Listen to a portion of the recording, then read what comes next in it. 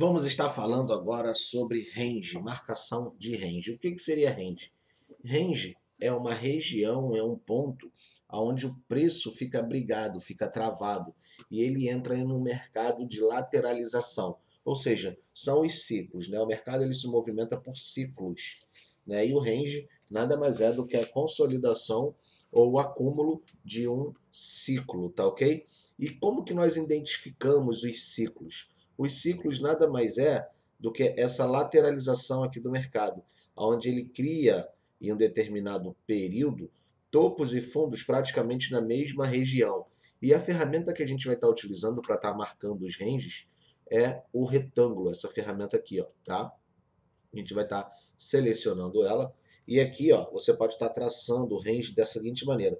Você segura no topo, puxa até a mínima e arrasta assim, ó, tá? Ou seja, esse aqui é um range de lateralização, onde você pode denominar ele como um range onde você não vai atuar, ó, não vou atuar aqui porque aqui o mercado está lateral, não está propício a, a, buscar uma tendência, a buscar uma região onde eu consiga entrar e ter um ganho com mais assertividade. Né? Então, por exemplo, quando você traça um range, você pode determinar que aqui dentro você não atua, você vai atuar na perda. Beleza, atua na perda aqui, daria gain. Vamos, vamos é, buscar aqui pontos de range para a gente poder estar tá, é, entendendo melhor como que funciona. Toda vez que você traça um range e você fala nessa região eu não vou atuar, tá? Por exemplo, aqui o mercado fez fundos e topos, o primeiro fundo e o primeiro topo. Se você traçar um range nele, você vê que logo em seguida ele cria um novo topo, tá? Porém aqui você não teria entrado porque estaria dentro do range. Mas quando ele perde esse range aqui, ó, você conseguia pegar tendência. Aqui, quando ele perdeu aqui, ó, você entrou na segunda confirmação, você dá sempre uma, uma distância né, para poder estar tá entrando, pelo menos de um remo, de um box, então entraria aqui no segundo, você teria pego um scalper aqui com gain. Aqui você teria surfado melhor a onda. Então range nada mais é do que lateralização. Aqui, ó, range, ó. Mais um range aqui, ó lateralização de mercado, tá vendo? O mercado fica numa região brigada, uma região ruim de você estar tá atuando, tá?